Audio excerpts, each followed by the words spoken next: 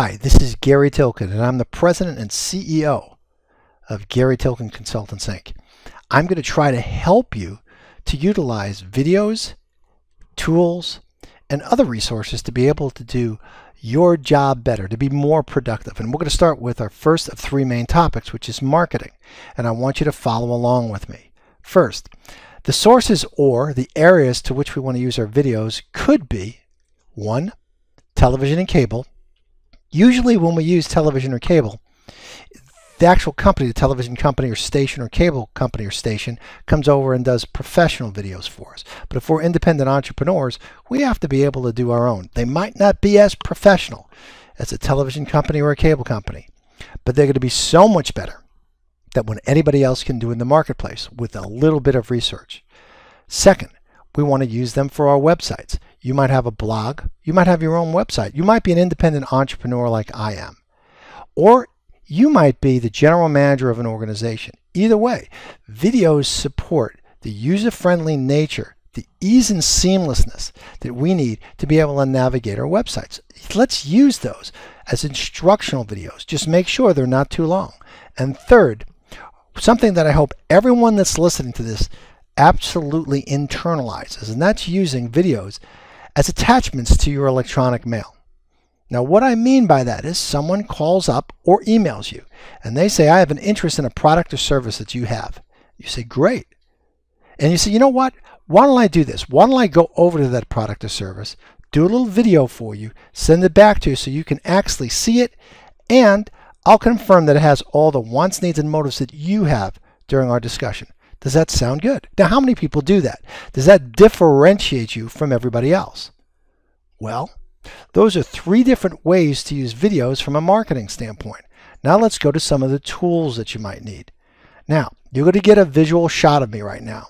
I'm in my Bulldog t-shirt because I am absolutely a crazy Bulldog fan. I have one English Bulldog and one French Bulldog. Matter of fact, my, my new blog is all about training the puppy, which also can be leveraged by leadership at your organization in training humans. Isn't it funny how's there there's a real connection because training is really training. But let's talk about the tools. The first tool that we need is what I'm using right here. I'm using a Logitech webcam.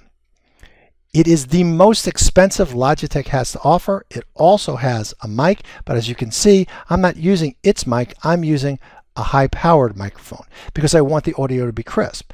Now, as great as this tool is, this Logitech webcam, it was under $100. And if you catch it on sale, you can get it under 80. That's not a huge investment. Now let's look at the headset. I'm using a very expensive headset, my choice. It's a few hundred dollars. It's a gamer's headset because I've had good good luck with it. The sound is crystal clear. I can use it for straight audios. I can hear really great when I'm editing. And that's really what I'm looking for. I've also used wireless headsets that have mics on them so that I can move around the room. Usually when the video camera is set up for a long distance and I'm far away from any microphone. The third mic that I have is I have a microphone that's digital that I put to the side of what I'm doing. And that allows me to interview people and still put them on, on video. Third is I'm using a capture program. The one that I'm using right now is called Adobe Presenter Video Express. It came with my Adobe Presenter program, which is designed to make e-learning. So this came with that program and I've utilized it and I've learned it. By the way, on any technology, if you really want to learn how to use a program, there is an online source called lynda.com that's a few dollars a month and it goes through e-learning courses to teach you how to use programs like Adobe. But back to my capture program. You can have any capture program you want. You might be using an iPhone, or you might be using your iPad or a tablet or a smartphone.